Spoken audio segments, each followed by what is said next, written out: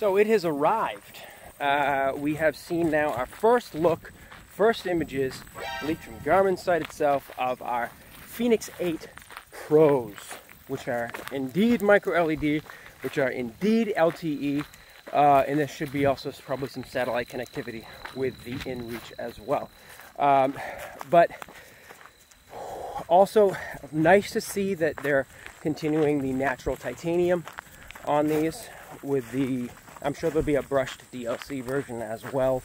Uh, but we're going to get and review the 47 millimeter, which again, to me, looks like um, the model to have. I feel like the 51 with either AMOLEDs and now micro LEDs have too big of a bezel, and I just don't like that. So we're going to get the Fenix 8 Pro 47 millimeter or 48 or whatever it ends up being in that particular size. We're going down a size and we're going to review that watch. Um, I'm expecting probably better numbers with the micro LED, but uh, I have no idea what to expect from LTE and whatever because I think that I don't think you're going to be able to get a model that's not LTE in these these pros.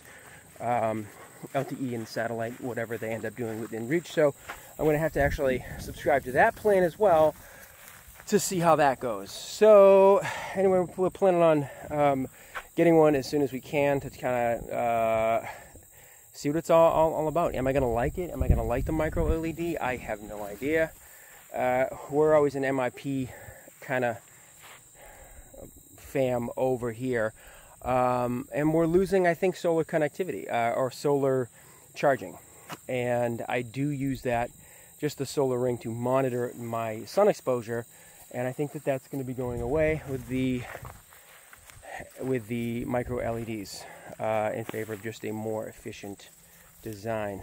Um, but I mean, that's all. We, we just have have a leak as as of now, but it's we have no full details on this, um, and we'll get them when we have them. I will keep you all updated uh, but we're planning on gonna get we're planning on getting it, and we're planning on getting rid of this this one. We'll probably sell it to somebody on the channel because we have nowhere even kind of crested 30k subs.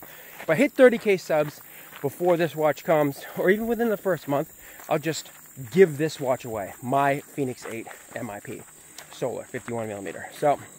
Uh, but that's the update, newest update within five hours right now. So we're going to get these videos out there so you guys can know that there is indeed a leaked image of the new Fenix 8 Pros, which I think are expected to be announced probably tomorrow. So, anyway, peace. As always, like, comment, subscribe. Me and Wing, we will stay out here and we will keep doing this.